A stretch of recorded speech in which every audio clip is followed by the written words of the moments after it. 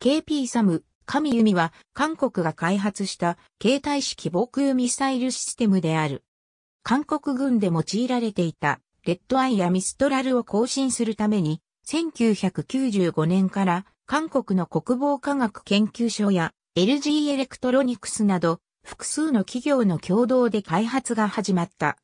開発費として8年間に700億ウォンを費やし、延べ1000人余りが投入されて国産化率90%を達成した。2003年に射撃実験が完了し、翌2004年には韓国軍と1億ドルの量産契約が結ばれて、量産が始まった。運用は2005年より開始された。シーカーには当初、ミストラルと同型のものを技術供与で入手する予定であったが、フランスが拒否したため、ロシア製の 9K39 の技術をもとに独自開発した。他国の携帯式対空ミサイルとは異なり、肩に担いでの肩打ちはできず、射撃は原則として三脚に乗せた状態で行う。射撃手は三脚の椅子に座って小順機を覗き込む。2007年4月には、アドとサムスン電子が開発していた夜間小順機の開発が完了している。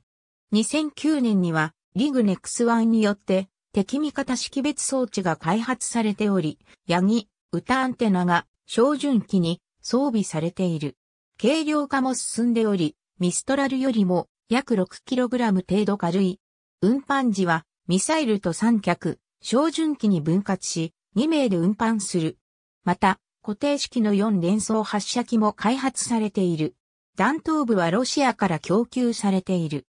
直接迎撃機能に加えて、近接進管が装着されており、目標が半径1.5メートル以内に近づくと、自動的に爆発し、約800個の破片をばらまき、その破片効果により撃墜することも可能である。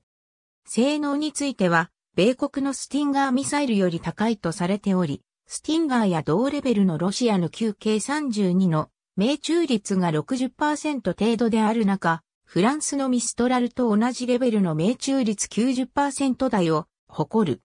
試験に関わった国防科学研究所は 7km 先から3.5メートルの高度を毎秒697.5メートルで飛行する目標に命中させたとしている。価格は一発あたり約1億8000万ウォンで2億3000万ウォンのミストラルよりも約5000万ウォンほど安価である。神弓の開発で韓国はアメリカ合衆国、ロシア、中国、フランス、パキスタン、イラン、日本、ポーランドに続いて赤外線誘導式携帯用の対空誘導兵器を開発した9番目の国になった。それまで韓国軍で運用されていたミストラルオカミ弓で更新している。2007年6月には第2次量産契約が結ばれ、アイデックスなどの軍事賞にも展示されている。ありがとうございます。